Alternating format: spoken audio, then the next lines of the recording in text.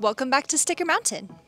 In today's quick tutorial, we are going to show you how you can create a rectangular die line for your sticker using Adobe Illustrator. Let's get started. First, and this is the easiest step, open up your design in Illustrator.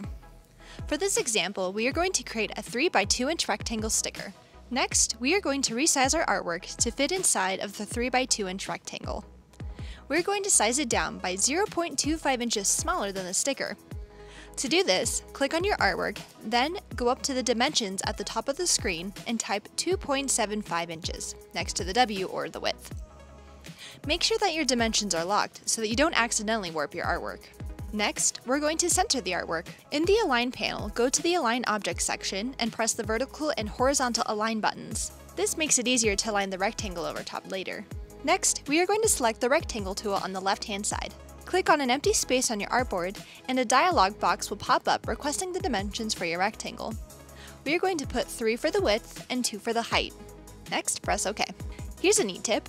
If you want to create curved corners, double-click on the little circle on the inside of the corner.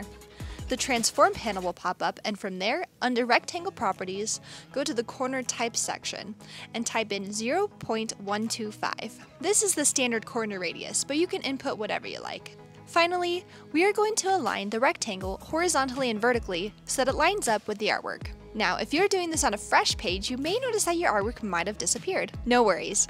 With your rectangle selected, go to the Color panel and turn the Fill color off by clicking on the square with the red line through it. And then, click on the stroke color and change that to black. And that's it! You now have a sticker ready to be printed. Wondering what to do next?